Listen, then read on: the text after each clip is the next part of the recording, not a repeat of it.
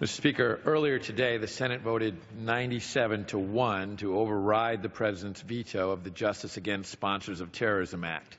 I rise to urge my colleagues to follow the Senate's action and vote to override this veto so that Americans may seek judicial redress against any foreign government that chooses to sponsor a terrorist attack on U.S. soil. The question that, that, this veto override vote poses is whether we should allow those who harm our citizens to hide behind legal barriers that are required by neither the Constitution nor international law, or whether we should permit U.S. victims to hold those who sponsor terrorism in our country fully accountable in our courts.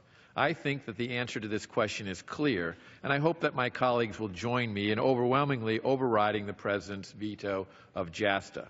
The changes JASTA makes to existing law are not dramatic, nor are they sweeping.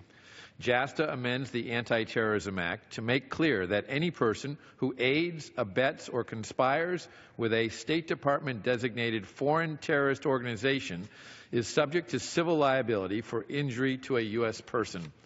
In addition, the legislation amends the Foreign Sovereign Immunities Act to add an exception to foreign sovereign immunity for acts of international terrorism sponsored by a foreign government that cause physical harm within the United States.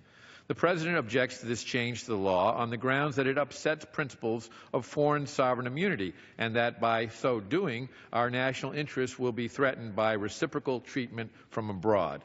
The President's objections, however, have no basis under U.S. or international law. The Foreign Sovereign Immunities Act already has nine exceptions to sovereign immunity, including the territorial tort exception. This exception provides that a foreign country is not immune from the jurisdiction of our courts for injuries that it causes that occur entirely within the United States. Consistent with customary international law, JASTA for terrorism cases removes the current requirement that the entire tort occur within the United States and replaces it with a rule that only the physical injury or death must occur on U.S. soil. JASTA makes this change because, under current law, a foreign nation can provide financing and other substantial assistance for a terrorist attack in our country and escape liability so long as the support is provided overseas. For example, under current law, if the intelligence agency of a foreign government handed a terrorist a bag of money in New York City to support an attack on U.S. soil, the country would be liable under the Foreign Sovereign Immunities Act's tort exception right now. However, if we change the fact pattern slightly so that rather than giving a terrorist money in New York City, the money is provided in Paris, the foreign state will not be subject to liability in U.S. courts. This is a troubling loophole in our anti terrorism laws. When Congress enacted the Foreign Sovereign Immunities Act in 1976, it put in place a broad set of exceptions to sovereign immunity, including an exception for tort claims involving injuries occurring in the United States.